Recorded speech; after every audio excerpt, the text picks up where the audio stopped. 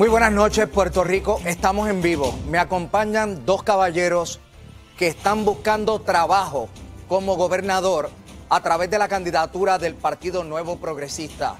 Estamos a cuatro días de la primaria azul y este es el debate final, el decisivo.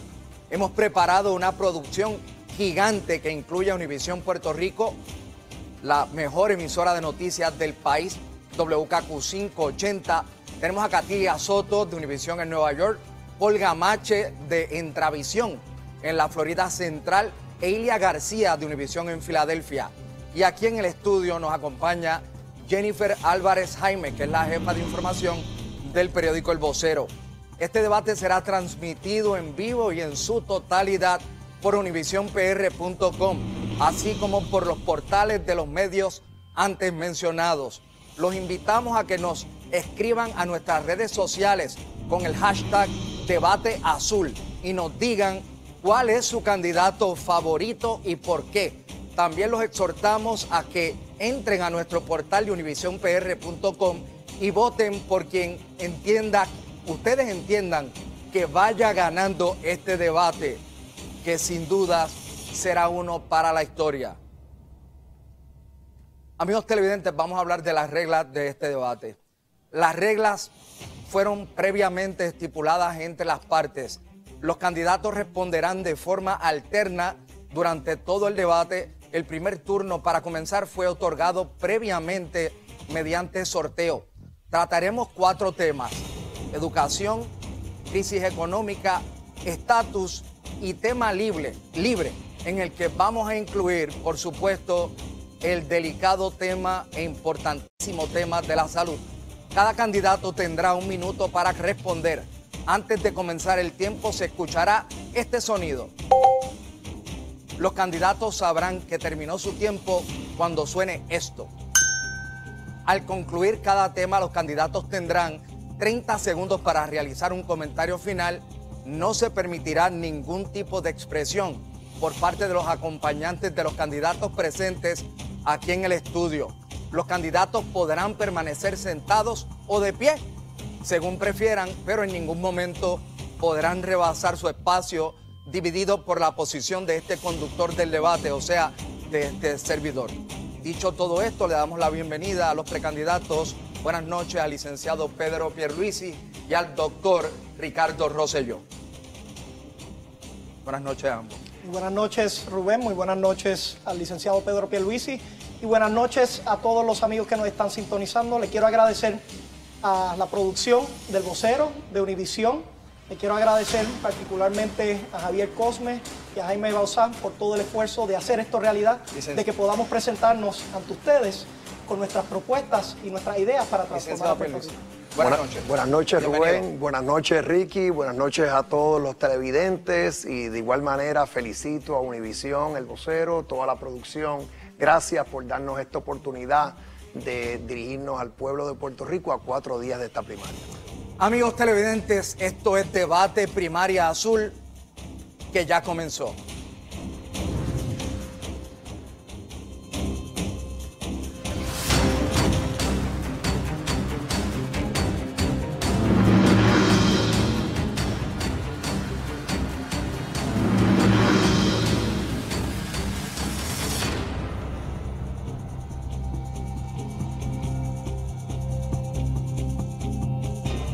Comenzamos con el primer tema, educación.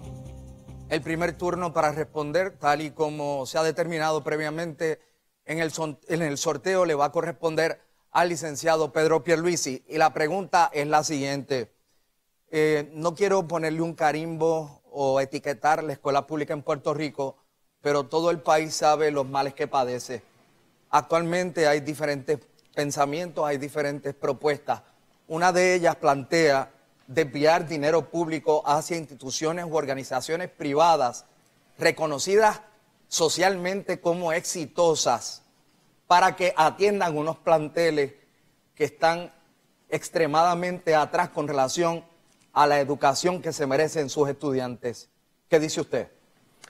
Mira, Rubén, eh, como gobernador yo voy a reformar el Departamento de Educación porque el aprovechamiento de nuestros estudiantes deja mucho que desear y tenemos que prepararlos para las oportunidades en el mundo laboral y no se está haciendo, hay demasiada deserción. Lo primero que voy a hacer es crear la posición del principal oficial administrativo, de igual manera crear una junta multisectorial para que asesore al departamento permanentemente, extender el horario escolar por dos horas adicionales para cosas como el inglés, de igual manera la tecnología, arte, deporte, eh, rescatar los valores, traer los valores, incorporarlos en el currículo y de igual manera incluir los cinco minutos de reflexión. En cuanto a utilizar entidades privadas, las utilizaría en el horario extendido, organizaciones de base de fe, organizaciones sin fines de lucro, de igual manera en alianza, pero no para sustituir nuestras escuelas públicas. La constitución es clara. Le corresponde el turno al doctor Ricardo Rosselló. Muy buenas noches. Este tema de la educación es un tema que me apasiona como educador, veo las oportunidades que tenemos. El mundo está cambiando y tenemos que aprovecharlas. Y lo que yo quiero hacer es crear un nuevo gobierno, unos cambios radicales para nuestro sistema gubernamental y de educación también. Crear un sistema de escuelas con más poder a los directores y más responsabilidades, con más recursos para los maestros, con más flexibilidad para los padres. Enfoque en educación bilingüe. Vamos a establecer una educación de STEM subjects para poder competir a nivel global. Vamos a distribuir lo que van a ser eh, las diferentes vertientes de la educación secundaria. Vamos a asegurarnos que la educación especial tenga todos sus recursos con nuestro centro de oportunidades federales para que ese dinero llegue al estudiante. Todos los días estoy viendo cómo madres y padres de familias están esperando a que termine el curso escolar para tener que irse de Puerto Rico. En cinco días vas a tener la oportunidad de darme el voto para comenzar la transición para Puerto Rico. Bueno, ahora pasamos con nuestra coanfitriona desde el Canal 41 de Nueva York con su pregunta sobre educación. Muy buenas noches, Puerto Rico. Les saluda Katiria Soto desde Univisión Nueva York. Comunicarse en inglés es importante para los puertorriqueños en la isla y para aquellos que migran a los estados. ¿Qué proponen para mejorar la enseñanza del inglés en las escuelas públicas? Gracias, Katiria. Le corresponde el turno al licenciado Pedro Pierluisi. El inglés, eh, se ha tornado el, inglés se ha tornado indispensable para eh, todos nuestros niños, nuestros jóvenes, la población en general. es el idioma que predomina en el mundo, en el mundo de las comunicaciones, en el mundo de los negocios. La enseñanza del inglés en Puerto Rico eh, hay que fortalecerla. La meta mía es que 25% de las escuelas públicas sean bilingües para el final del próximo cuatrienio. De igual manera, hay que establecer un programa de intercambio de maestros, maestros de Puerto Rico, intercambiarlos con maestros de Estados Unidos para que los de aquí mejoren sus destrezas del inglés y los de allá nos ayuden a enseñar el inglés. Cuando hablo de extender el horario en las escuelas, incluyo en esas dos horas adicionales en las que nuestros niños y jóvenes estarían ocupados y fuera de las tentaciones de la calle, laboratorios de inglés conversacional porque es muy importante que no solo lo puedan leer y escribir, sino también hablarlo. Le corresponde el turno al doctor Ricardo Rosselló. Esto es un asunto muy importante, porque tener acceso a la enseñanza en inglés no es solamente un instrumento adicional, es una escalera hacia la igualdad. Otras jurisdicciones lo están viendo así. Están viendo que al darle ese instrumento pueden eliminar lo que es esa gran desigualdad. Por ello, tengo un compromiso de establecer un crecimiento de 20% de nuestras escuelas públicas para que tengan esa educación bilingüe. Vamos a hacer un esfuerzo enorme para poder reclutar maestros que puedan estar en este proceso.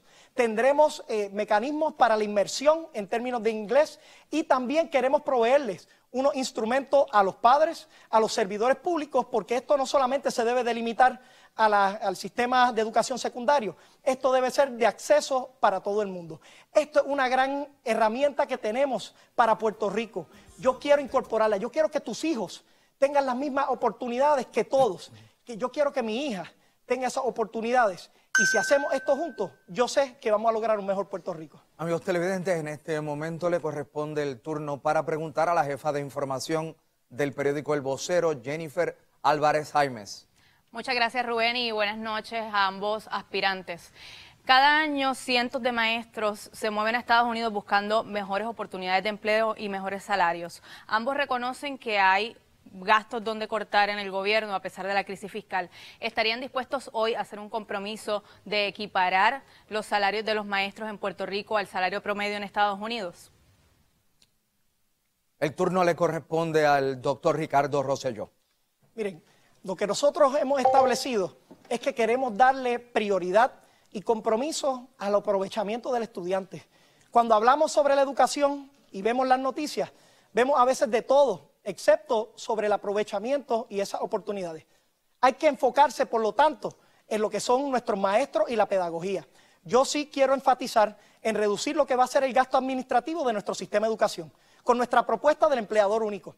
De esa manera es que podemos hacer que los recursos lleguen más hacia los maestros y que podamos también tener una serie de incentivos para los que son maestros que tienen un aprovechamiento extraordinario. Pero además de ello, quiero implementar una plataforma tecnológica, utilizar la oportunidad que tenemos ahora que nos brinda este momento histórico para no solamente dar pasos pequeños, sino para dar pasos grandes. Imagínese usted que el mejor maestro pueda estar dando clases no tan solo en un salón hogar, sino en todos los salones de Puerto Rico. Eso es una gran oportunidad que tenemos. Nuestro énfasis va a ser en los niños y en los maestros y así vamos a construir un mejor sistema de educación. El turno le corresponde al licenciado Pedro Pierluisi.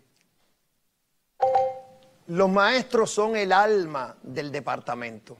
Para tener a nuestros estudiantes interesados, retados, tienes que tener a los maestros motivados y bien compensados.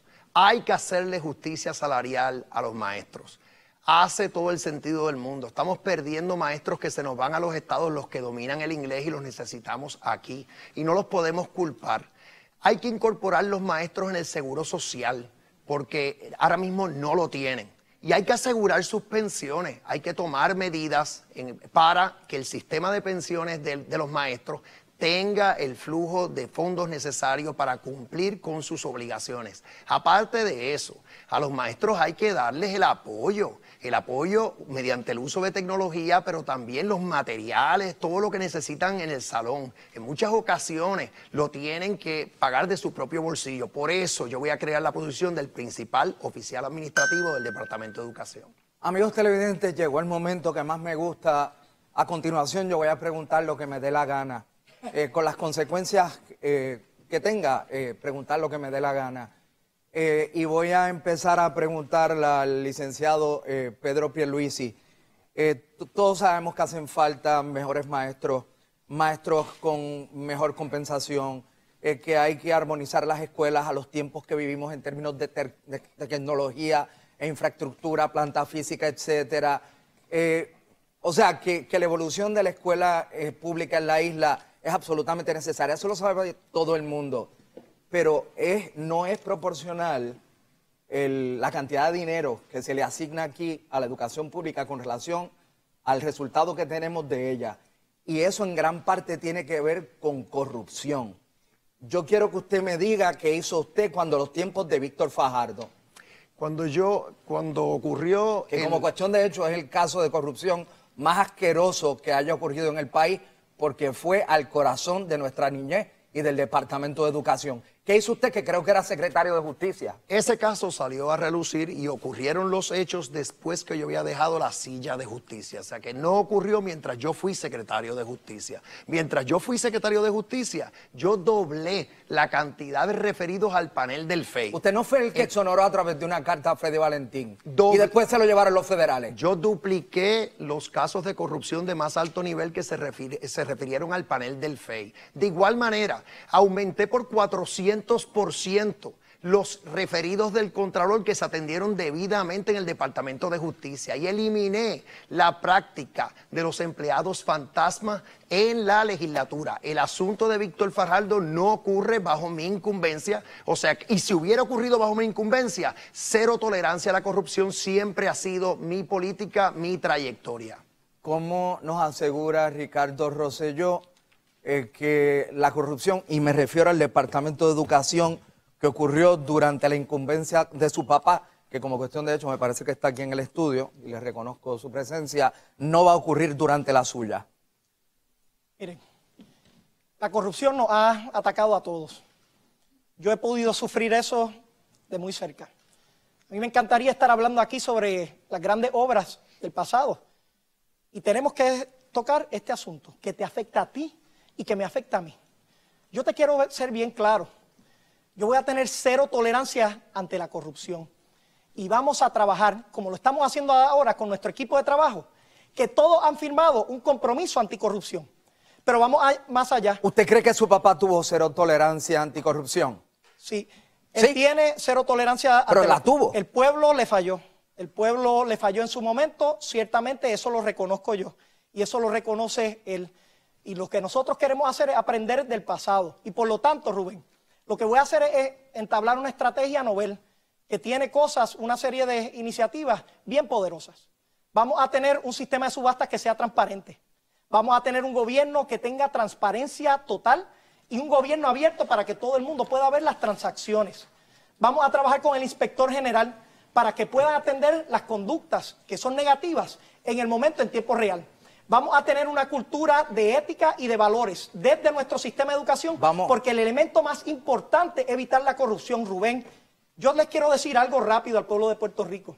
La primera persona que me falle y que te falle a ti, yo le voy a dejar caer todo el peso de la ley. En este momento pasamos con la pregunta del pueblo, una de las cientos que nos hicieron llegar a través de nuestras redes sociales sobre el tema de educación.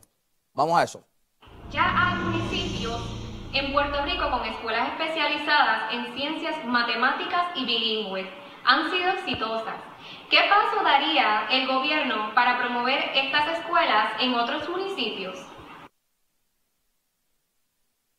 Le corresponde el turno al doctor Ricardo Rosselló. Bueno, como bien saben, mi área que me apasiona es lo que son las ciencias, las matemáticas y todo este andamiaje. Creo que hay un espacio enorme para seguir teniendo más escuelas de esta índole, pero también otras escuelas vocacionales y otras escuelas que le sirvan a la diversidad del pueblo de Puerto Rico. ¿Cómo es que te he propuesto que vamos a hacer eso? Vamos a crear, en vez de un departamento de educación que sea burocrático, donde el dinero se quede arriba, vamos a crear un sistema de escuelas donde le vamos a dar las herramientas a los directores, el factor más importante en determinar la educación de nuestros niños, para que estén adiestrados y capacitados y que tengan la responsabilidad de rendir cuentas. Vamos a hacerle llegar los recursos a los maestros, sí, para el salón hogar, para poder tener las tecnologías, pero también un compromiso claro con los sistemas de pensión y de retiro que he hecho con Puerto Rico, creando alianzas público-privadas participativas, como en la generación de energía, que van a hacer llegar fondos a esos sistemas de pensión y más flexibilidad y más control a los padres para que puedan tomar la decisión para sus hijos. Le corresponde el turno al licenciado Pedro Pierluisi. Es, es legítimo que los municipios que tienen los recursos, municipios que no están teniendo una crisis fiscal en sus manos, y tengo que decir que la mayoría están teniendo grandes problemas económicos, puedan tener escuelas especializadas, puedan eh, hasta, hasta convertirse en lo que se llama Local Education Agencies y tener acceso directo a fondos federales de parte del Departamento de Educación Federal. Y eso se puede promover, pero tenemos que enfocarnos en las escuelas públicas, porque ahí es que está el reto mayor Ahí es que está el grueso de nuestros, de nuestros estudiantes. Y la ley orgánica del Departamento de Educación es letra muerta. Crea la escuela de la comunidad, que hace todo el sentido del mundo. Una escuela que tenga autonomía, fiscal, curricular, que, el, que tenga todos los recursos necesarios, que presente su propio presupuesto, eliminar burocracia. Para eso es que yo propongo el principal oficial administrativo del Departamento de Educación. Ahora los candidatos tendrán 30 segundos cada uno para esbozar un pensamiento final sobre el tema de la educación. Le corresponde el turno al licenciado Pedro Pierluisi. Yo voy a lograr que todos nuestros niños y jóvenes tengan una educación efectiva que los prepare para alcanzar sus metas. Una educación con valores, con tecnología, con prácticas modernas de enseñanza y con un magisterio debidamente compensado y motivado. Lo que yo voy a hacer es crear una cultura de acción y ejecución, comenzando en el Departamento de Educación. El turno le corresponde al doctor Ricardo Rosselló. Como educador me apasiona este tema. Veo que es la gran oportunidad que tenemos para echar hacia adelante. Yo confío en nuestra gente. Las prioridades de mi administración van a ser los niños y la educación. Quiero que todos los niños tengan las oportunidades, inglés, que se puedan desarrollar al máximo de su, de su potencial. Y es por lo tanto que en cinco días, con tu voto, vas a tener la oportunidad para comenzar la transición a tener un sistema de educación de vanguardia para todos los puertorriqueños. Amigos televidentes, en este momento hacemos una pausa. Síganos escribiendo a través de nuestras redes sociales con hashtag debate azul y a través de nuivisionpr.com. Usted eh, nos tiene que decir a quién cree que ve ganando este debate y quédese con nosotros en este monumental debate primaria azul que cuando regresemos vamos a entrar al tema de la situación económica. Volvemos.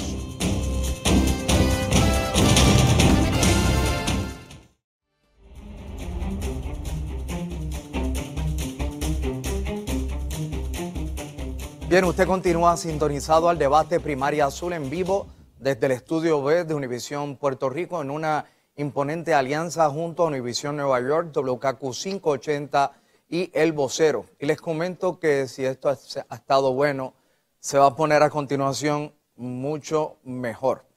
Eh, porque ahora vamos al tema que tiene que ver con la situación económica del país, que es un tema que en estos tiempos nos atañe a todos. Y vamos a dejar que sea la voz de la comunidad puertorriqueña en la Florida Central, compuesta por Tampa, Orlando y otras regiones en el entorno, quien genere esa primera pregunta.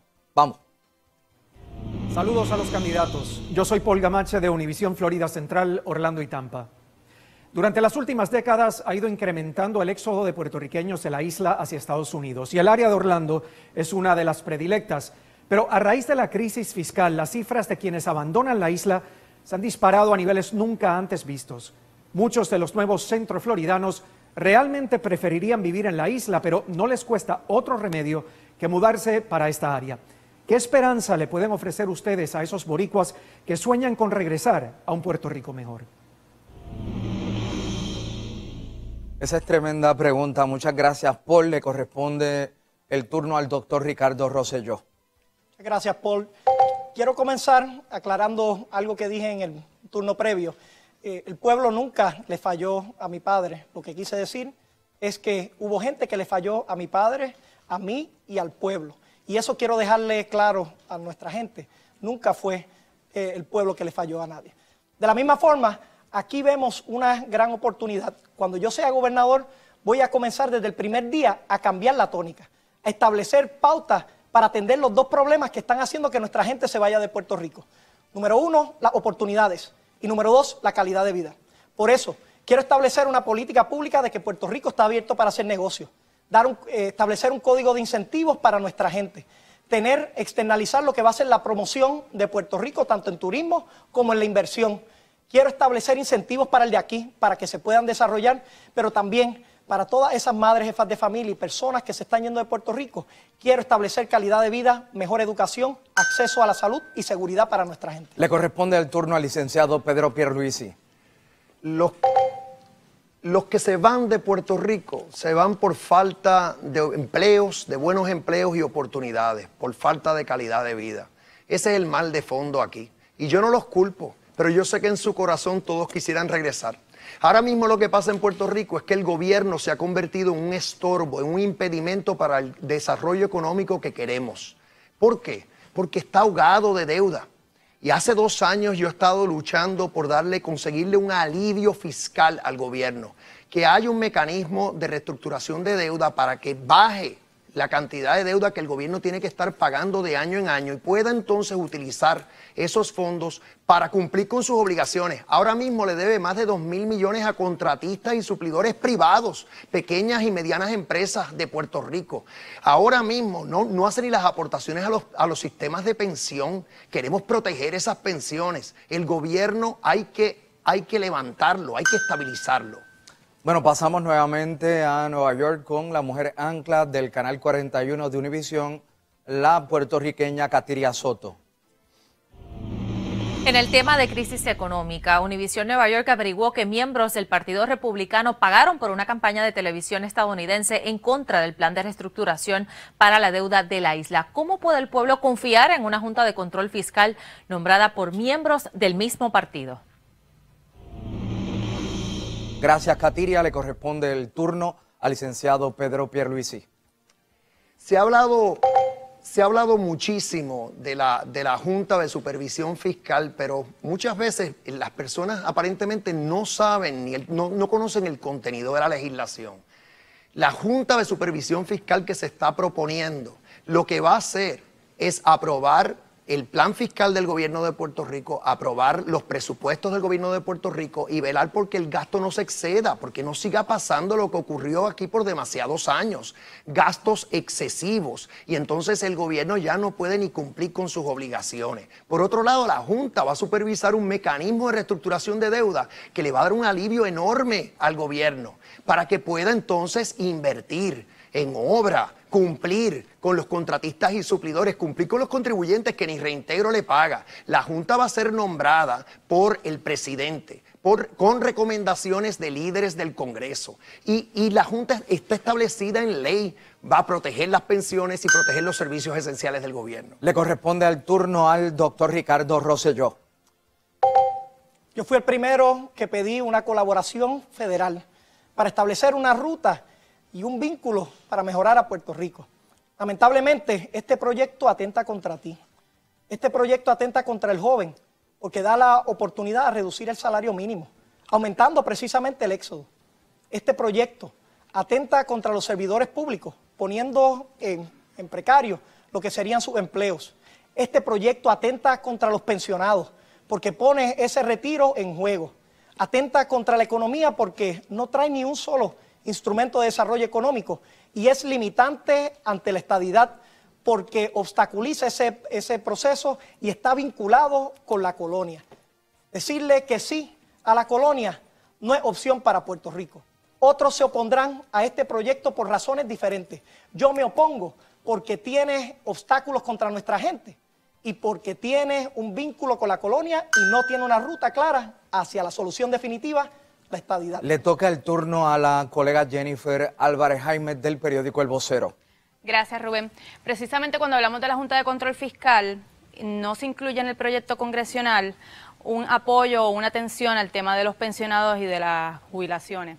Sabemos que actualmente hay 120 mil familias que dependen específicamente de las pensiones y en dos años podría quedarse el sistema insolvente.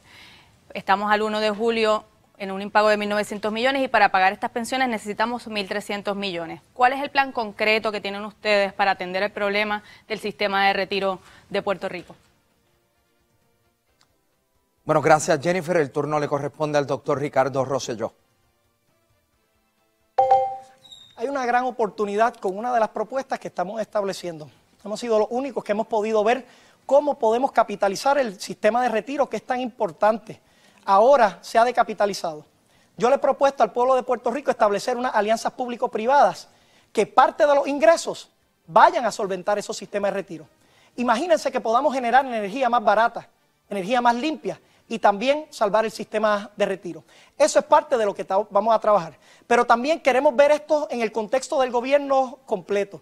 Y algunas de las cosas que se comentaron anteriormente fueron los pagos a los proveedores, que se han tenido que cerrar hospitales porque ACES le debe a los hospitales, pero no pueden pagar la luz. Bajo mi propuesta de intercambio de créditos, vamos a poder tener una manera que puedas utilizar esa deuda que tiene el gobierno para pagar tus utilidades y poder continuar trabajando. Estas son las propuestas que van a echar a Puerto Rico hacia adelante. Y en cinco días, mis hermanos y hermanas, con su voto, vamos a encaminar a Puerto Rico en una ruta de progreso. El turno le corresponde al licenciado Pedro Pierluisi. Tengo que aclarar dos temas. Porque es que, otra vez, quizás porque habían borradores del proyecto, el pueblo en general no está al tanto. El plan fiscal que exige la ley promesa, la ley federal, tiene que identificar los recursos necesarios para que nuestros sistemas de pensión cumplan con sus obligaciones. Tiene que identificar los recursos necesarios para que el gobierno cumpla con los servicios esenciales que le tiene que dar al pueblo el plan fiscal que esta Junta sí va a aprobar y que yo como gobernador voy a presentar va a cubrir, va a cumplir con esas obligaciones. Por otro lado, ¿por qué está ocurriendo esta legislación? Porque colapsó el gobierno de Puerto Rico, no podemos estar en estado de negación y también ha colapsado el ELA, el estatus actual. Y por eso vemos a los líderes del Partido Popular Democrático denunciando esta Junta, porque saben que esta es la transición hacia un cambio de estatus, hacia la estabilidad. Bueno, nuestra gente también tiene voz en este debate gigante primaria azul y aquí está una de las cientos de preguntas que nos enviaron a través de las redes sociales. Veamos. ¿Estás de acuerdo en que bajen el salario mínimo federal a 4.25 la hora a los jóvenes hasta 25 años? ¿Están conscientes que esto desplazaría a los adultos con salarios mayores, incrementando aún más el desempleo y la pobreza? ¿Qué harían para evitar que esto suceda? El turno le corresponde al licenciado Pedro Pierluisi. Otra vez, otra vez tengo que aclarar. El proyecto no baja el salario mínimo de los jóvenes en Puerto Rico. El proyecto promesa lo que dice, y yo me pongo baja el salario mínimo de los jóvenes en Puerto Rico. El proyecto promesa lo que dice, y yo me pongo ese lenguaje, pero lo que dice es que el gobernador de Puerto Rico tiene la opción de bajarle el salario mínimo a los jóvenes de, 25, de menos de 25 años. Yo me opongo, no hace sentido. También me he opuesto en el Congreso a un proyecto que quiso bajarle el salario mínimo a todos en Puerto Rico. ¿Por qué? Porque eso lo que hace es promover emigración o promover que la gente no trabaje. Así que eh, eso no viene en el futuro si se incluye ese lenguaje, no se va a hacer realidad porque aquí en Puerto Rico, que yo sepa, no hay líder alguno que le quiera eh, bajar el salario mínimo a nuestros jóvenes, ni a, ni a toda la clase trabajadora en general. Al revés, nosotros lo que queremos son buenos empleos, buenos salarios para que nuestra gente no se nos siga yendo, para que trabajen con mucha motivación, con mucho ahínco, incluyendo particularmente nuestros jóvenes. Le corresponde el turno al doctor Ricardo Rosselló la antesala a la estadidad nunca puede ir por conducto de la desigualdad. Este proyecto precisamente presenta elementos de desigualdad para toda nuestra gente. Lejos de acercarnos a la estadidad, nos aleja y por eso me opongo a este proyecto. Pero le quiero dejar saber algo al pueblo de Puerto Rico. Nosotros sabemos lo que tenemos que hacer y tan pronto pasen estos próximos cinco días, y me convierte en el presidente de nuestro partido, unificando así las fuerzas. Les garantizo al pueblo de Puerto Rico que voy a tomar un avión rápidamente. Y como presidente del Partido Nuevo Progresista estaré en Washington y estaré en todos los lugares pertinentes para ofrecer una mejor alternativa. Una que no limite la democracia, una que nos acerque hacia la estadidad, una que no atente contra nuestros jóvenes, porque sí, estoy en contra totalmente de esta reducción en salario mínimo, esto no es sostenible, yo voy a trabajar por los jóvenes, voy a trabajar por los pensionados y voy a trabajar por todo Puerto Rico. Una pregunta, ¿a ustedes no les da vergüenza que un ente externo al gobierno de Puerto Rico eh, vaya a determinar en términos presupuestarios qué es lo que van a hacer aquí los desembolsos, la política pública económica? ¿A ustedes no les da vergüenza eso? A, usted, por lo que yo escuché que usted dijo, que nos claven. Y Ricky Rosselló, que nos claven con consentimiento. O sea, que es una junta compartida. Explíquenme, porque yo no entiendo. y el país está confundido. Perdona, porque parece que no escuchaste lo que yo dije porque lo que estoy diciendo es que esto es una buena herramienta porque nos va a dar un alivio para el gobierno que es obvio que lo necesita para que el gobierno pueda cumplir con sus obligaciones. Lo que da vergüenza es que el gobierno de Puerto Rico ha colapsado. Lo que da vergüenza son los impagos que hemos tenido. Lo que da vergüenza es que aquí contratistas y suplidores, pequeños y medianos comerciantes que le han vendido bienes y servicios al gobierno no les pagan a veces ni por seis meses. Lo que da vergüenza es que aquí ni los reintegros pagó este gobierno. Tenemos un gobierno colapsado y el Congreso utilizando los poderes plenarios que tiene sobre el territorio de Puerto Rico, que yo sé que no le gusta a, los, a los, miembros o los lideratos del Partido Popular, está interviniendo. Ahora, ¿cuál es el miedo a esta Junta? Yo voy a trabajar perfectamente bien con esta Junta. Yo voy a presentarle como gobernador un plan fiscal viable, presupuestos balanceados y en cuatro o cinco años esa Junta se va a ir de aquí porque vamos a tener la casa en orden, vamos a volver a tener acceso a los mercados y vamos a estar, sí, enfocados en el crecimiento económico que todos queremos para o sea, que usted está totalmente a favor de la Junta. Ricky Rosselló. Miren, Esto nos presenta una oportunidad para hacer unos grandes contrastes. Me presenta explicarte lo que es mi propuesta. Una colaboración, es una junta colaborativa con el gobierno federal, como se ha hecho en el pasado para combatir el, el crimen. Pero ¿sabes qué es lo que no hace? No le reduce el salario mínimo a los jóvenes a 4.25. No atenta contra los servidores públicos y los pensionados. Nos provee instrumentos de desarrollo económico. O sea, que, que esa junta que defiende Pierluisi sí reduciría el salario mínimo. Permite el espacio para reducir el salario mínimo a los jóvenes y hablando del éxodo, lo sacaría entonces de Puerto Rico. Mira, estos son proyectos malos y cuando hay un proyecto malo, Pedro, a veces hay que decir que no. Nosotros lo que estamos buscando son unas alternativas positivas, constructivas que nos permitan la colaboración en las áreas que necesitamos esa colaboración. Lo he podido detallar y he podido detallar un plan para atender el problema de la deuda aquí ahora, sin tener que esperar intervención, pero también para establecer colaboración con el gobierno federal para poder tener un mejor manejo de lo que es el pago a la deuda, manteniendo a Puerto Rico con el control del presupuesto y de la misma forma, bien claro Rubén, que todo el mundo lo sepa. Pregúntense por qué la gran mayoría de los líderes estadistas se oponen a esto es que hay una provisión exacta que dice que cualquier Estado que quiera tener esta Junta tendría que dejar de ser Estado. Por lo tanto, esta Junta es puramente colonial y yo lo que propongo es que cualquier, cualquier solución que venga de Washington tiene que estar vinculado a la solución definitiva que es la estadidad. Es que usted duda de la fe estadista de Pierluisi. Sí, y, aquí, aquí hay que aclarar, hay que leerse el proyecto. El proyecto incluye hasta una disposición que yo incluí ahí, que reconoce que podemos llevar a cabo una consulta que ya el Congreso autorizó, que yo trabajé para pedirle al pueblo que le diga que sí a la admisión de Puerto Rico como un Estado. Lo reconoce. O sea que no hay impedimento fiscal para que esa consulta se haga y yo la voy a hacer. O sea que, y al revés, este proyecto en nada en nada afecta el ideal de la estabilidad. Al revés, lo que hace es que lo confirma. ¿Qué está colapsando? Está colapsando el ELA, está colapsando el estatus actual y podemos llevar a cabo esa consulta de admisión y podemos entonces lograr un cambio de estatus que sería la solución permanente para la crisis fiscal que los, ¿Los aleja de la estadidad la Junta? Sí, lo, aleja. Es, muy claro, de nuevo, la, provisión está en el proyecto y Pedro, sí, me leí el proyecto. Pero esto es un contraste grande entre el comisionado residente y yo. Él quiere ver si eventualmente llegamos a la estadidad. En un foro contigo, Rubén, tú le hiciste la pregunta si la estadidad iba a llegar en esta generación. No te pudo contestar. Yo sé lo que tengo que hacer junto a mi compañera de papeleta, Jennifer González, para poder establecer los pasos afirmativos hacia la estadidad.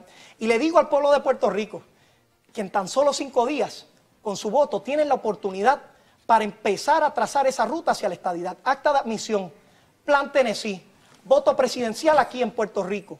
Y desde que gane, se los digo, el día después de ser, de que me den el honor de ser presidente del Partido Nuevo Progresista, tomaré un avión, estaré reuniéndome en Washington, estaré haciendo propuestas que vayan firmes con la voluntad del pueblo de Puerto Rico y con nuestros mejores intereses. Y eso es lo que el pueblo quiere.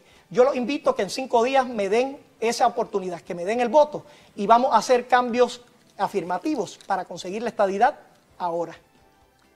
Es, la, credibilidad no se gana desde la, desde la grada, se gana trabajando en el terreno de juego.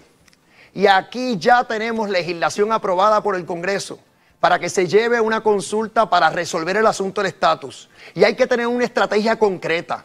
Otra vez, no palabras, hay que seguir el patrón que siguió Hawái y Alaska. Tuvieron plebiscitos como el de nosotros del 2012, en los que prevaleció la estabilidad, pero el Congreso le pidió el sí para su admisión. Toda acta de admisión tiene una consulta de sí o no.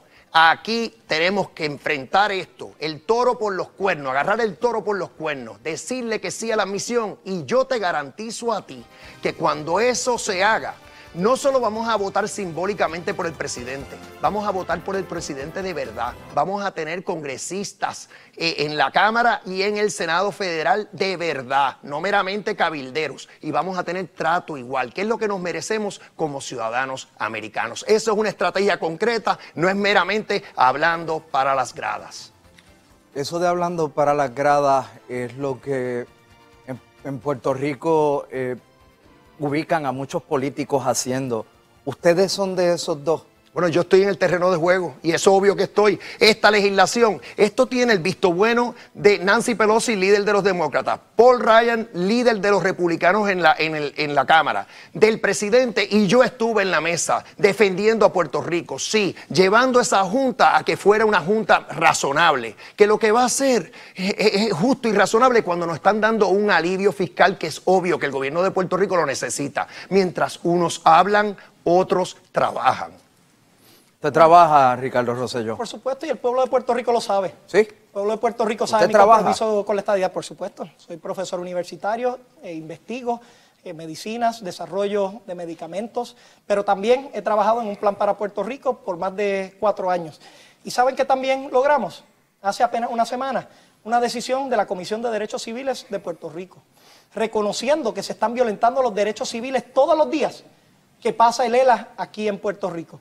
Esto es algo que va a llegar a todos los foros y que va a llegar a Washington. Es un resultado concreto. Y saben que también eh, ha pasado, y en contraste con mi compañero Pedro Pierluisi, mira Pedro, la experiencia que has tenido es la siguiente. Eres el primer comisionado residente que tiene un mandato directo y claro del pueblo de Puerto Rico para rechazar la colonia y para favorecer la estadidad. ¿Y qué ha hecho con él? ¿Cuáles han sido los resultados? Favorecer unas iniciativas que lo que hacen es acercarnos más a la colonia. Nosotros tenemos que buscar cambios. Nosotros tenemos ¿Qué que usted hubiera hecho con ese mandato claro? Hubiese el primer día, y de hecho se lo consulté al mismo comisionado residente en el 2013, hubiese sometido un acta de admisión el primer día para dejarle saber al Congreso que esto no es cuestión de esperar, esto no es cuestión de ver cuándo ellos quieran actuar, esto es cuestión de que el pueblo de Puerto Rico dio un mandato claro. Y miren, yo tengo la voluntad, junto a mi compañera de papeleta Jennifer González, para tan pronto tomemos posesión, vamos a exigir esa igualdad. No vamos a merecernos menos. No vamos a esperar para que otra generación siga hablando sobre esto. No queremos más plebiscitos sobre más plebiscitos. Lo que queremos es una conclusión a este asunto. El acta de admisión, la lucha con el Plan Tennessee, enviando dos senadores y cinco representantes para allá. El proyecto de voto presidencial aquí son estrategias que nos van a llevar de a- manera afirmativa y con quiere contestar a resolver esto. los problemas Sí, de. Puerto Rico. Vamos a hablar con la verdad. Lo ¿Quién no, quién no ha hablado con la verdad? Perdóneme. Bueno, vamos a hablar con la verdad. Lo primero que hizo Ricky, tan pronto prevalecimos en el plebiscito, fue unirse a un líder del Partido Popular Democrático y pedir una consulta sí o no, estabilidad sí o no, sin aval federal. La mía es federal. Y después fue al Congreso en una actividad que le llamó la toma del Congreso y lo que pidió en el Congreso fue vistas públicas. Yo he presentado dos proyectos de admisión. En el primero, 130 coauspiciadores que están endosando la admisión de Puerto Rico como un Estado. En el segundo, 110 coauspiciadores. Yo convenzo congresistas y hay líderes del Partido Nuevo Progresista que me han ayudado a convencer congresistas. Así se hace patria, así se trabaja la estabilidad, no meramente diciendo acta de admisión, acta de admisión y total, conlleva una consulta sí o no. Una consulta sí o no es un plebiscito sobre un plebiscito. Tal vez si hubiesen leído la carta que cursé sí con Héctor Ferrer, hubiesen notado que decía que finalmente, que tenía que ser una solución final y eliminando y descartando lo que sería el ELA. Y sí, he participado en distintos foros, eh, esto Pedro, y foros y con distintas personas, personas que piensan diferente a mí. Pero ¿sabes qué nunca he hecho? Nunca he caducado a mis principios. Siempre todo el mundo sabe que estoy poniendo los mejores intereses de la estadidad de frente. No me siento con opositores de la estadidad para llegar a un acuerdo para poner el estatus en un segundo plano. Eso yo nunca lo voy a hacer. Yo soy estadista a tiempo completo y les garantizo que tienen la oportunidad en cinco días para permitirme a mí y a mi compañera de papeleta Jennifer González a comenzar una ruta clara hacia la estadidad, no después, no en varios años, no en otra generación, ahora. 30 segundos cada uno. Para cierre, Para ahora. Para ahora. Para que me diga algo ahora de lo que él acaba de decir. Sí, sí. Pues vuelvo y digo, aquí la estrategia ¿Usted está lista a tiempo completo? Bueno, yo no estoy politiqueando a tiempo completo. Yo hago un trabajo como comisionado residente, como presidente del PNP y también soy candidato a la gobernación. Y la estrategia que estoy siguiendo va a dar resultado, porque funcionó para Hawái, funcionó para Alaska. Y lo que pregona el otro candidato, el plan Tennessee, yo lo conozco y es una herramienta que podemos utilizar, pero eso lo que van a hacer son cabilderos que van al Congreso. No tienen ni oficina ni presupuesto, para estar claro. Ricky Rosselló, 30 segundos. El propósito de esta discusión y de este segmento era la economía. Yo lo que siempre he establecido es que tengo un sinnúmero de propuestas para poder tener un código de incentivos, para incentivar al de aquí, para tener una nueva estrategia federal, para poder echar a Puerto Rico hacia adelante y crear empleos ahora, para tener proyectos estratégicos que comiencen el primer día de nuestra administración. Pero ¿saben que también he dicho? Que toda estrategia mía, en todos los elementos, está vinculado con lo que es la solución definitiva para Puerto Rico y eso es la estabilidad. Dame la oportunidad el 5 de, el 5 de junio. Solamente cinco días y vamos a trazar una nueva ruta para construir ese nuevo Puerto Rico. Bien, amigos televidentes, vamos a hacer una pausa. El próximo tema lo discutimos caliente al regreso. Y eh, presente por esa comunidad boricua en los Estados Unidos está Katiria Soto. Vamos a Univision Nueva York con ella.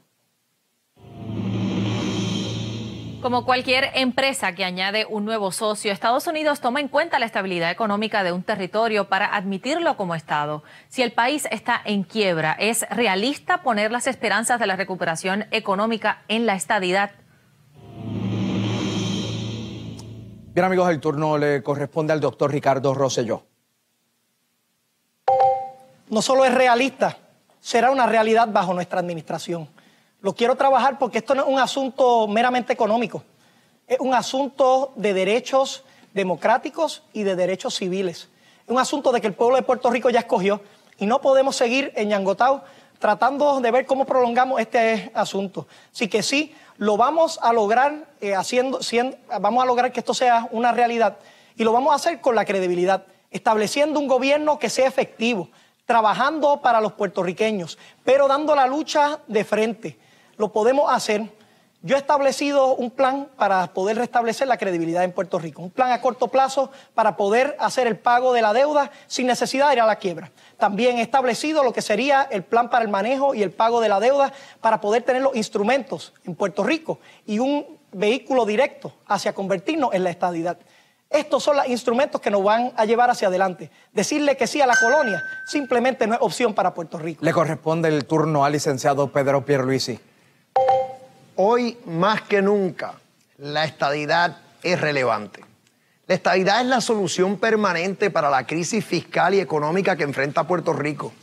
En 12 vistas congresionales que se han llevado a cabo en, los últimos 14, 15 meses en el Congreso, algo nunca antes visto en la historia de Puerto Rico, siempre yo he levantado la bandera ante los congresistas y les he dicho, la igualdad es la solución, trato igual en todos los programas federales trato igual en nuestros derechos democráticos, con el poder que eso conlleva, la estabilidad que trae la, estabilidad, la inversión que trae la estabilidad. Siempre planto esa bandera y lo hago también en el hemiciclo cameral cuando eso se transmite por CISPAN por todo Estados Unidos. ¿Y por qué? Porque lo vimos en Hawái en Alaska. Cuando se pasaron de ser territorio a Estado, sus economías duplicaron en tamaño. Los ingresos de todos aumentaron. Es la solución. Amigos televidentes, los puertorriqueños en Estados Unidos siguen presentes en este debate primaria azul y ahora pasamos con la representante de Univisión 65 en Filadelfia. Adelante. Buenas noches, mi nombre es Ilia García, presentadora de Noticias de Univisión 65 en Filadelfia, y mi pregunta es sobre el estatus. ¿Qué a su entender haría más atractivo a Puerto Rico para convencer a los opositores de la estadidad en Estados Unidos, incluyendo congresistas, de que la anexión de la isla como Estado 51 es una opción viable? ¿Y cómo ejecutaría ese plan para hacerlo más atractivo? Bien, el turno le corresponde al licenciado Pedro Pierluisi. Cuando Puerto Rico progresa, los Estados Unidos progresan. Aquí lo primero que todos tenemos que darnos cuenta es que esto es, como le dicen en inglés, un win-win. La estabilidad es buena para Estados Unidos y es buena para Puerto Rico, porque nosotros somos ciudadanos americanos y esto es un territorio de Estados Unidos y está la calidad de vida deteriorándose, el territorio vaciándose. Y eso no hace sentido. Es, es hasta cierto punto una vergüenza también para los Estados Unidos que esto esté ocurriendo. Y hay que enfocarnos en las opciones que tenemos. Una es la igualdad de derechos bajo nuestras dos banderas, la estabilidad. La otra es separarnos, la independencia o una soberanía nacional, pero en esa no tendríamos la ciudadanía americana, las generaciones futuras. Y aquí en Puerto Rico, nueve de diez puertorriqueños quieren su ciudadanía americana, pero la vamos a tener con todos los derechos, con todas las oportunidades y así va a echar para adelante Puerto Rico. Le corresponde el turno al doctor Ricardo Rosselló. Puerto Rico tiene un gran potencial. Yo lo veo todos los días. Lo veo en nuestra gente, lo veo, eh, es extraordinario. Puerto Rico puede ser un destino a nivel global y eso es lo que queremos fomentar. Un destino turístico que pueda atraer valor, añadir valor, un destino para la internacionalización de la educación, un destino de turismo médico. Y saben qué? Es un imperativo también para los Estados Unidos. Puerto Rico sería el primer estado puramente o mayoritariamente hispano en la nación americana. En un momento donde Estados Unidos ya llegan a 50 millones de hispanos, es un momento para hacer este cambio. Yo veo a Puerto Rico como un conector de esas Américas y veo que le añade muchísimo valor a los Estados Unidos. Desde como gobernador voy a establecer propuestas para dar incentivos, para desarrollar nuestra economía desde el primer día. Vamos a trabajar con una nueva estrategia federal para poder tener más recursos de ese presupuesto de 450 mil millones de dólares aquí a Puerto Rico. Yo voy a luchar todos los días para que la estadidad llegue a Puerto Rico y lo voy a hacer desde ahora. De inmediato vamos con Jennifer Álvarez Jaime del periódico El Vocero. Muchas gracias, Rubén. Ambos aspirantes apoyan e impulsan un plan Tennessee. Quisiera que me contestaran cuán efectivo es enviar este tipo de delegación si actualmente lo que hemos conseguido es una propuesta en la que una Junta de Control Fiscal o de Supervisión Fiscal solamente tendría el gobernador de Puerto Rico con voz, pero sin voto. El turno le corresponde al doctor Ricardo Rosselló. Precisamente por eso es que le tenemos que dejar esta gestión a una nueva generación. Ya otros han tenido su turno al bate y no han podido tener los resultados, no han podido demostrar la voluntad. El plan Tennessee funciona con voluntad, con empeño, con compromiso. Yo les garantizo a ustedes que junto a mi compañera de papeleta y un gran equipo de trabajo que tenemos, vamos a encaminar esto con fuerza en todos los foros, en el Congreso, en los medios, en los foros de derechos civiles, en todas partes, para que se haga valer este elemento. Ya siete territorios de la nación americana han utilizado este mecanismo. ¿Y saben qué? Los siete son estados hoy día, pero no se quedaron esperando, no siguieron pidiendo prórroga a este asunto. Se dieron cita, fueron de frente, lucharon por lo que ellos creían y consiguieron la estadidad. ¿Y saben qué? Cinco días, hermana y hermano estadista, tienes la oportunidad para comenzar esta ruta. Si me das el voto, te garantizo que no te voy a fallar. Vamos con Pedro Pierluisi. Yo quiero ser claro contigo. El plan Tennessee es una herramienta que podemos utilizar y la vamos a utilizar. Aquí lo único que falta para lograr la misión de Puerto Rico como un Estado es que nuestro pueblo le diga que sí, en una consulta federal, no criolla. Alaska, que fue el último territorio que utilizó el plan Tennessee, no entró a la Unión Americana por el plan Tennessee, entró porque le dijo que sí a la admisión. ¿Cuándo se debe utilizar esta herramienta? La debemos utilizar tan pronto el pueblo le diga que sí a la admisión, porque ahí es inevitable. No va a tener razón alguna el Congreso para darnos la espalda, porque cuando Hawái y Alaska le dieron ese sí, entraron a la Unión. Y como ha dicho mi compañero de papeleta, Carlos Ignacio Pesquera, en este momento de crisis en Puerto Rico, ¿Qué debemos hacer con los delegados del Plan Tennessee? Ubicarlos en Prafa para ahorrarle dinero al pueblo, porque no van a tener oficina ni presupuesto en el Congreso. Bueno, es mi turno. ¿Y si Estados Unidos les dice que no? ¿Cuál es el plan B? Bueno, es que eso no es una opción. ¿Pero cómo que no es una opción? ¿Ustedes quieren entrar como Estado de la Unión? Por supuesto. Y, y la Unión de Estados Unidos tiene el derecho de decir si eh, quién entra y quién no. Por supuesto, pero yo no brego en hipotéticos. Mira esto, Rubén, mira la evidencia. 37 territorios de la nación han pedido convertirse en un Estado. ¿Sabes cuántos de ellos se convirtieron en Estado? 37. 100% de los estados que piden admisión, de los territorios que lo hacen, se han podido convertir en un estado de la nación. Pero ahora presentamos otro gran contraste entre el compañero comisionado residente Pedro Pierluisi y yo. Él piensa que todavía el pueblo no le dijo que sí a la estadidad. En el plebiscito pasado, el pueblo le dijo que sí a la estadidad, comisionado residente.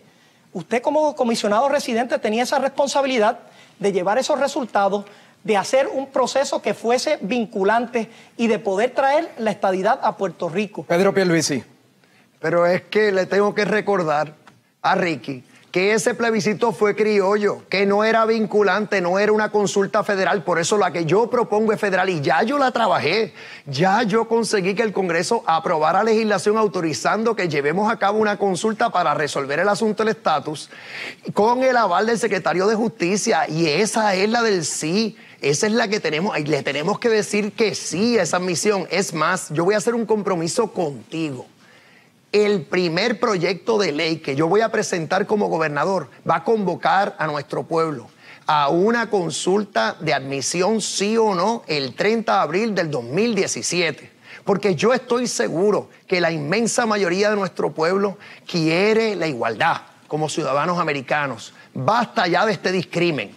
Vamos a echar para adelante como un Estado de la nación americana. Y para concluir este tema de estatus, vamos con el comentario final de cada uno de los candidatos. Ricky Rosselló tiene 30 segundos. Hermana, y hermano progresista y estadista, has podido ver un gran contraste y una gran diferencia entre el comisionado residente y este servidor. Él quiere hacer un proceso sobre otro proceso, tener un plebiscito adicional sobre la estadidad. Yo quiero que sea vinculante.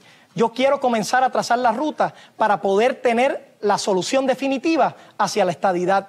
Por eso es que junto a Jennifer González vamos a hacer un plan Tennessee y por eso es que vamos a someter un acta de admisión. Estas son las estrategias que en cinco días, con tu voto, vamos a encaminar para convertirnos en el Estado 51 de la Nación Americana.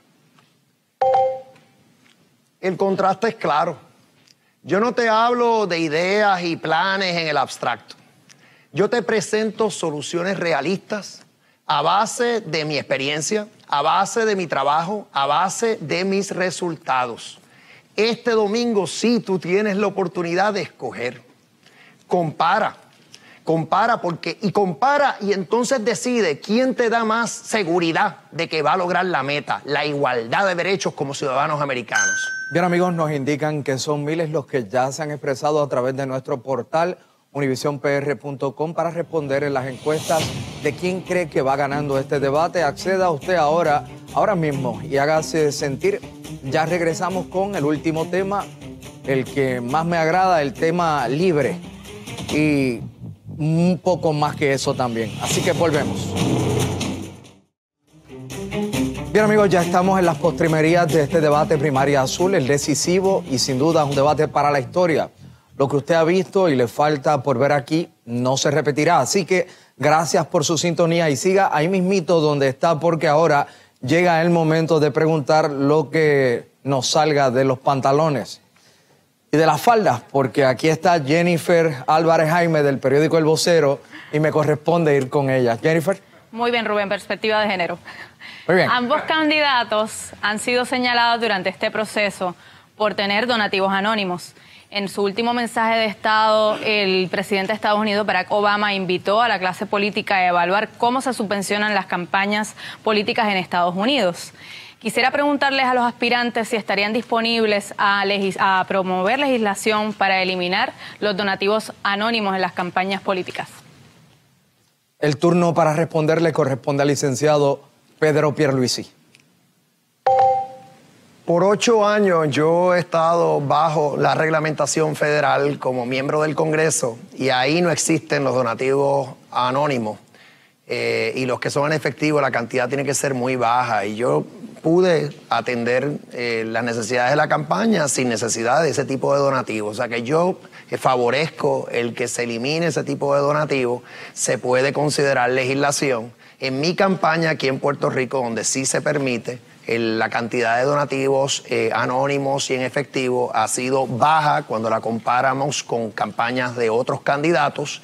Eh, así que yo prefiero que los donantes estén debidamente registrados, identificados, eh, así el pueblo tiene confianza en los candidatos y, y subsiguientemente en los incumbentes. La transparencia es buena, yo favorezco el cambio. Le corresponde el turno al doctor Ricardo Rosselló.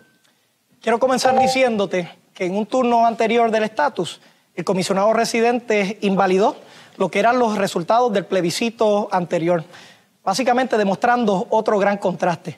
Pero sobre este asunto, yo no creo que la transparencia es buena. Yo entiendo que es necesaria y que es importante para Puerto Rico y lo vamos a encaminar con nuestro proyecto de transparencia total, de tener todo al desglose eh, de nuestro pueblo, para poder tener unos procesos de subasta que sean transparentes al pueblo de Puerto Rico. Y sí, yo voy a hacer y vamos a trabajar cualquier tipo de legislación que haga este proceso electoral y de política más claro para el pueblo de Puerto Rico. Nosotros en nuestro equipo de trabajo hemos sometido los informes claros todo el tiempo, bajo el pie de la ley y queremos hacer los mejores cambios para Puerto Rico. Cualquier iniciativa que vaya dirigido hacia tener un gobierno más abierto, más limpio y más claro para ti, yo la voy a favorecer.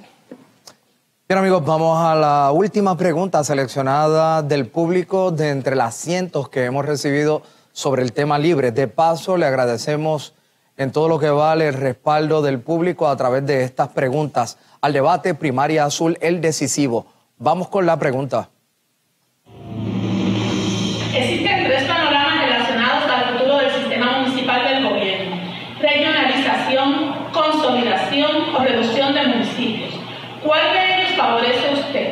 ¿O piensa que debe mantenerse el actual sistema de 78 municipios autónomos?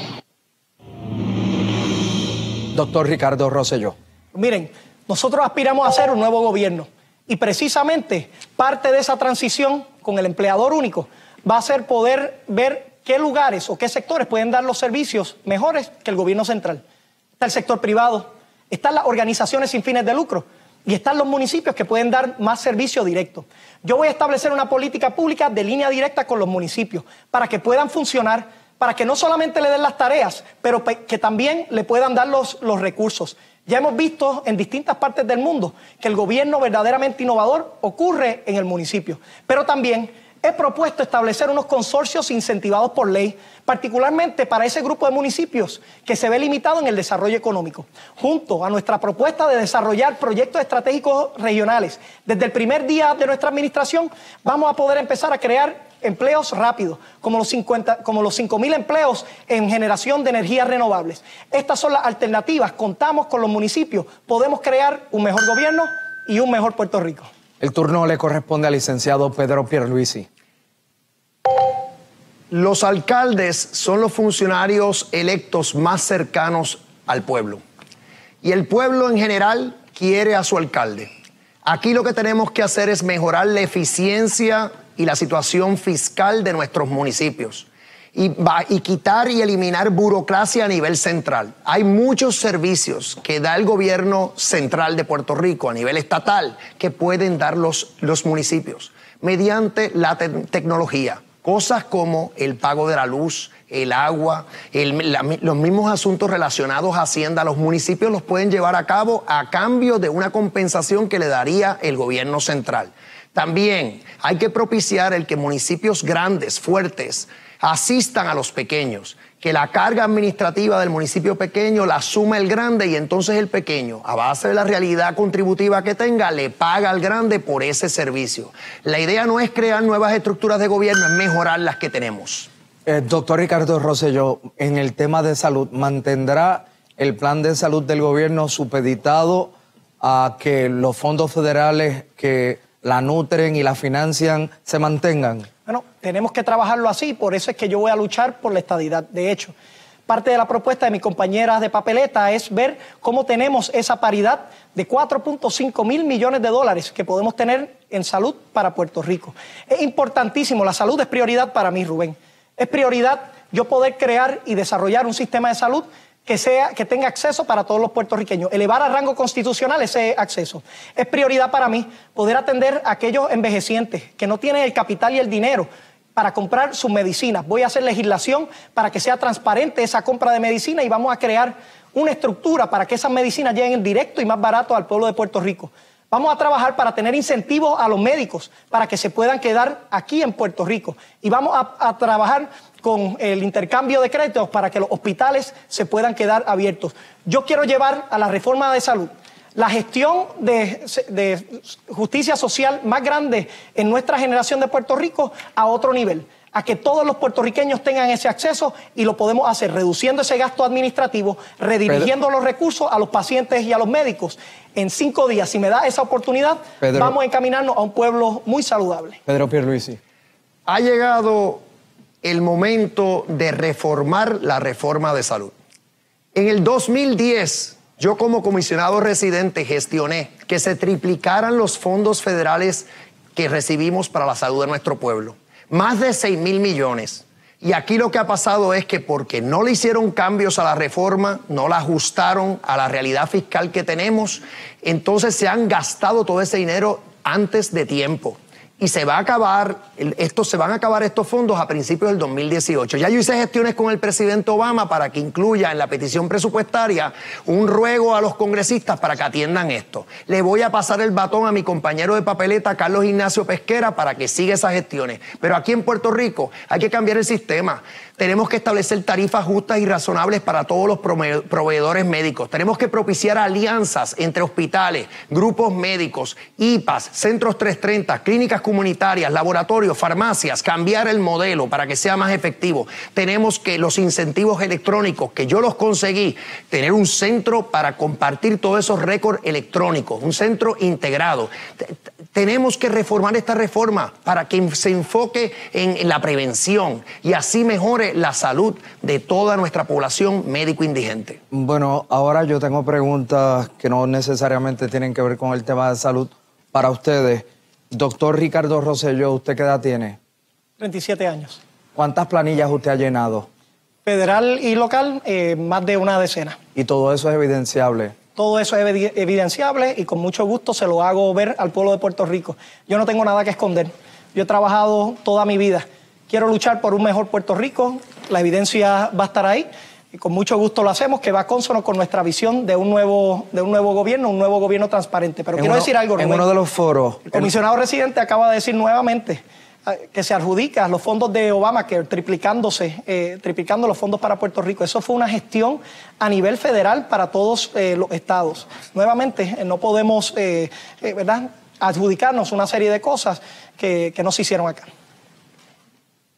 Voy a darle la oportunidad que usted responda, pero usted en uno de los foros eh, respondió a preguntas o a comentarios del comisionado residente de Pedro Pierluisi sobre unos socios chinos que usted tiene en el desarrollo de una patente. ¿Dónde está la pastilla? No, bueno, como sabes, Rubén, esto es un proceso que toma años. Para crear medicinas que funcionen, toman 10, 15 años a veces. Es un proceso que yo conozco muy bien, es un proceso que me siento apasionado y que he podido tener la oportunidad de ir a otras partes y otras jurisdicciones, aprender y ver cómo innovar. ¿Y sabes qué? Traer ese conocimiento, traer esa experiencia aquí a Puerto Rico. Miren, aquí no es solo la experiencia, es quien puede hacer la diferencia. Y yo tengo el conocimiento, la capacidad, he podido desarrollarme en distintas áreas, desde la medicina hasta la ingeniería, para poder reconocer los que son los problemas, desarrollar un plan, ser bien organizado y poder ejecutarlo. Eso es lo que yo quiero hacer para Puerto Rico. Dame la oportunidad del 5 de junio y vamos a lograr grandes cambios para nuestra patria. Pedro Pierluisi, licenciado, ¿usted cree que el país está claro con relación a las finanzas personales eh, de su matrimonio, suya? Sí lo está. Mi esposa... O sea, ¿usted no cree que hay nada que explicar? No, yo, yo someto informes al Congreso en cuanto a mis finanzas todos los años, cumplo con todos los requisitos, mi esposa es Ese, ese postulado de que desde que usted es funcionario electo, su familia es más rica, ¿es cierto? No, lo único que es cierto es que mi esposa María Elena es una profesional en el campo de la finanza, con más de 30 años de experiencia y que tiene una empresa muy exitosa. Y ella, ese, ese éxito se, lo, se le debe a ella. No tiene absolutamente nada que ver conmigo. Y yo me siento muy orgulloso de ella, como me siento muy orgulloso de todas las mujeres que no solo trabajan en el hogar, que muchas veces tienen dos y tres trabajos para buscárselas, para echar una familia para adelante. Pues eso es lo que está haciendo mi esposa y en la medida en que ella ha tenido éxito y se ha visto en, en ganancias o en riqueza, pues enhorabuena, porque se lo merece. Ahora yo tengo una pregunta para los dos. El país nos está viendo, está atento. Hay muchos que van a ir a votar a la primaria este próximo domingo. Eh, y ha habido eh, comentarios de parte del equipo de Pedro Pierluisi de que entren a votar todos los que interesen votar. ¿PNP eh, o no PNP? ¿Eso es correcto? No, yo voy a explicarlo, lo voy a decir directamente. Todos los puertorriqueños, todos los que nos están viendo, que quieran apoyar a candidatos del PNP y las causas del PNP, están invitados a votar en esa primaria. El que crea en usted popular, independentista, atorrante, PNP, ateo, lo que sea, y que crean usted puede entrar a votar por usted. Todo el que quiera apoyar candidatos del PNP y las causas del PNP está invitado a votar y yo soy el presidente del PNP. Yo soy el que lo estoy diciendo. Esa ha sido la práctica de este partido de siempre. Así ha crecido nuestro partido, así ha crecido el movimiento estadista y así es que hemos logrado las grandes victorias del Partido Nuevo Progresista. Mientras más gente participe en esta primaria del domingo, yo te invito a votar, sí, y yo te pido el voto. Mientras más gente participe en esa primaria, mayor será la probabilidad de éxito del PNP en estas próximas elecciones donde se nos va la vida. ¿Usted está a favor de esto, doctor Rosselló? Yo estoy a favor de que todo el que cree en la estadidad debe votar en estas primarias. Así de sencillo. Somos un partido estadista. Ese es nuestro fin. Y yo, como próximo presidente del Partido No Progresista, me voy a asegurar de dar la batalla todos los días para adelantar los planes. No desde que ganemos la gobernación, sino desde el día que gane la presidencia.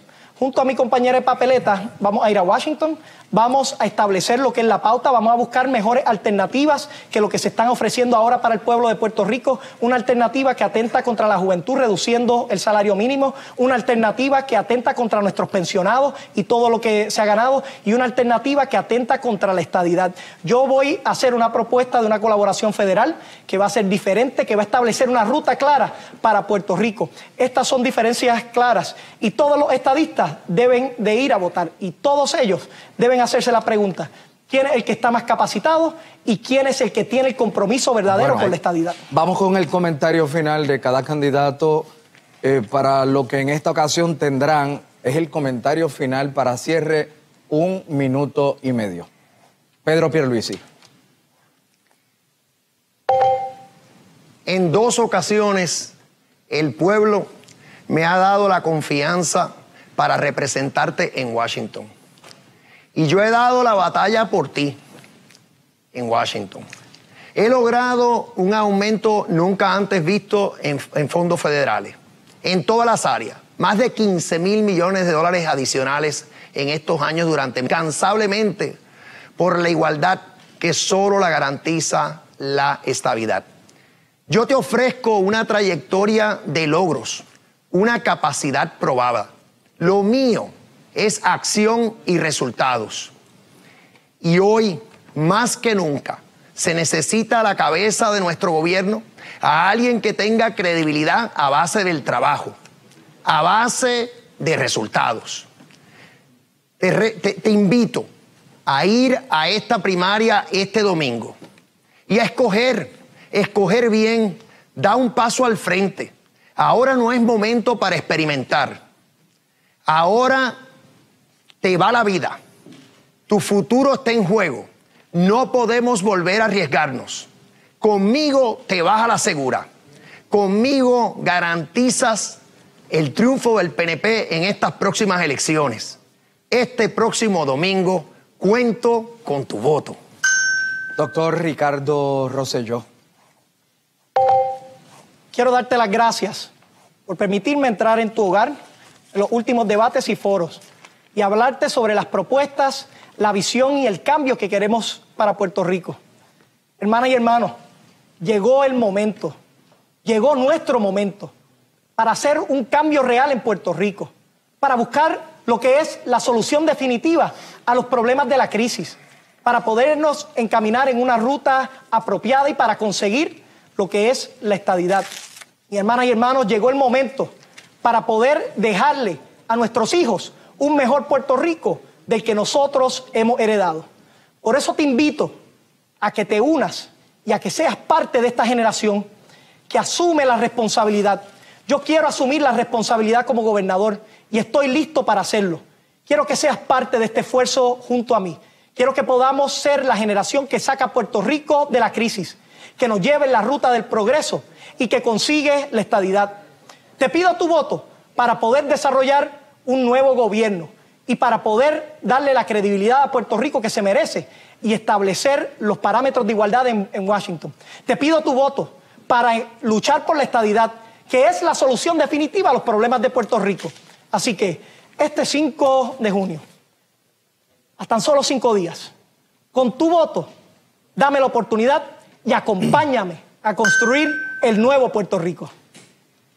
Bien amigos, de esta forma llegamos al final del debate primaria azul. Gracias a todos ustedes por hacernos trending topic en todas las redes sociales y todavía está a tiempo de entrar a nuestra página univisionpr.com y votar por el candidato que usted entiende ha ganado este debate de parte de la gran alianza entre Univisión Puerto Rico, WKQ 580, Univisión Nueva York y el periódico El Vocero. Esperamos que usted haya sido ganador o ganadora de este debate aclarando sus dudas. Quédese ahí mismo, pues en unos segundos pasamos en vivo a un programa especial de la noche encima con un análisis sumamente interesante salpicado del humor de Suset Bacó y Silverio Pérez. No se lo pueden perder. De nuestra parte, que tengan todos muy buenas noches. Gracias al licenciado Pedro Pierluisi y al doctor Pedro Rosselló o Ricardo Rosselló. Usted no pide vuelta. y gracias a Puerto Rico. Continuamos.